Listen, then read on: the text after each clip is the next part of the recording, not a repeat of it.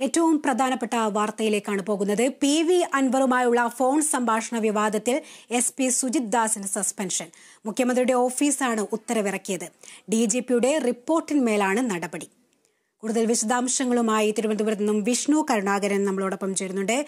വിഷ്ണു ഒടുവിൽ നടപടിയിലേക്ക് നീങ്ങിയിരിക്കുന്നു. സുജിത് ദാസ് ഗുരുതരമായ ചട്ടലംഘനം നടത്തിയെന്ന റിപ്പോർട്ടിന്റെ അടിസ്ഥാനത്തിലാണോ നടപടി? വിശദാംശങ്ങൾ. അനുപ്രിയ തീർച്ചയായിട്ടും പോലീസ് ആസ്ഥാനത്ത് ഡി ജി പിക്ക് മുമ്പാകെ റിപ്പോർട്ട് ചെയ്യാനായിട്ട് സുജിത് ദാസിനോട് ഉത്തരവിട്ടിരുന്നു.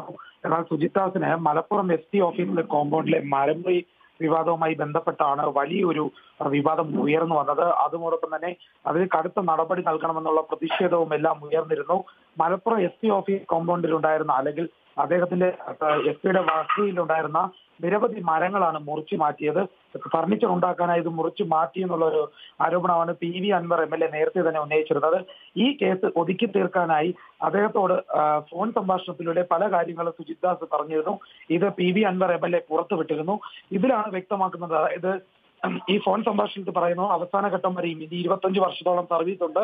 അത്രയും കാലം P V Anvar M L എക്ക് ആശ്രിതനായി ഇരുന്നോളാം എന്ന് വാക്ക് നൽകുന്ന രീതിയിൽ അത്രയും തരം താണ രീതിയിലേക്ക് പോയ ഒരു ഓഡിയോ ക്ലിപ്പ് പുറത്തു വന്നിരുന്നു. അതോടൊപ്പം തന്നെ ഉന്നത ഉദ്യോഗസ്ഥർക്കെതിരെയും വളരെ മോശമായ പരാമർശമുണ്ടായിരുന്നു. A D G P M R Ajith കുമാറിനെതിരെ അടക്കം വലിയ ആരോപണങ്ങൾ ഉയർന്നിരുന്നു. അത് വലിയ വിവാദവും വലിയ പ്രതിഷേധത്തിനും ഒക്കെ വഴിയൊരുക്കുന്ന സാഹചര്യമായിരുന്നു.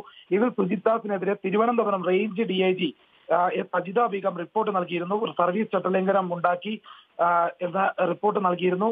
അതായത് ഉന്നത ഉദ്യോഗസ്ഥർക്കെതിരെ വലിയ ആരോപണം ഉയർത്തിയിരുന്നു. അതോടൊപ്പം തന്നെ മറ്റൊരു എം എൽ എക്ക് മുന്നിൽ കേൺ അപേക്ഷിച്ചതും വലിയ തിരിച്ചടിയാണെന്ന് ചൂണ്ടിക്കാട്ടിയിരുന്നു.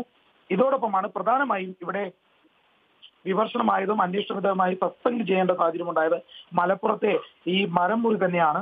അതിലേതായാലും Thrissur range D I G Thomson Jose Sujith ദാസിനെതിരെ report നൽകിയത്. ഈ റിപ്പോർട്ടിൽ വകുപ്പുതല അന്വേഷണം ഉൾപ്പെടെ വേണമെന്ന നിർദ്ദേശമുണ്ടായിരുന്നു അതിന്റെ അടിസ്ഥാനത്തിലാണ് ഇപ്പോൾ അന്വേഷണം പുരോഗമിക്കുന്നത്.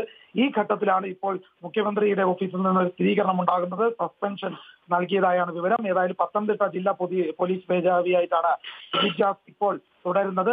ആ ഒരു ഘട്ടത്തിലാണ് ഇപ്പോൾ സസ്പെൻഷൻ നേരിടുന്നത്. മുൻപ് മലപ്പുറത്ത് എസ് പി ആയിരുന്നപ്പോൾ ഉണ്ടായ വിവാദവും ഫോൺ വിളി സംഭാഷണത്തിലുണ്ടായ വിവാദവും ഉൾപ്പെടെ ചേർത്താണ് ഈ സസ്പെൻഷൻ ഇപ്പോൾ ഉണ്ടായിരിക്കുന്നത്. എന്തായാലും വ്യക്തമാണ് പി വി അൻവറുമായുള്ള ഫോൺ സംഭാഷണ വിവാദത്തിലാണ് എസ് പി സുജിത് ദാസിനെ സസ്പെൻഡ് ചെയ്തിരിക്കുന്നത്. ഡി ജി പിയുടെ റിപ്പോർട്ടിന്റെ അടിസ്ഥാനത്തിലാണ് മുഖ്യമന്ത്രിയുടെ ഓഫീസ് നേരിട്ട് ഇടപെട്ടിരിക്കുന്നത്. അതുപോലെ തന്നെ മലപ്പുറം എസ് പി ഓഫീസ് അതായത് Sujith ദാസിനെതിരെ Thiruvananthapuram range D I G S Ajitha ബേഗവും report നൽകിയിരുന്നു. അതുപോലെ തന്നെ Thrissur range D I G Thomson Jose Sujith ദാസിനെതിരെ report നൽകിയിരുന്നു. റിപ്പോർട്ടിൽ വകുപ്പ് തല അന്വേഷണം ഉൾപ്പെടെ ഉണ്ടായിരുന്നു. സർവീസ് ചട്ടലംഘനം ഉണ്ട് ഉണ്ടായെന്നായിരുന്നു ഡി ഐ ജിയുടെ റിപ്പോർട്ട്. പി വി അൻവറുമായി സുജിത് ദാസ് സംസാരിക്കുന്ന ഓഡിയോ സംഭാഷണം പുറത്തുവന്നത് വിവാദമായിരുന്നു. ഇതിനു പിന്നാലെയാണ് ഇപ്പോൾ നടപടിയിലേക്ക് നീങ്ങിയിരിക്കുന്നത്.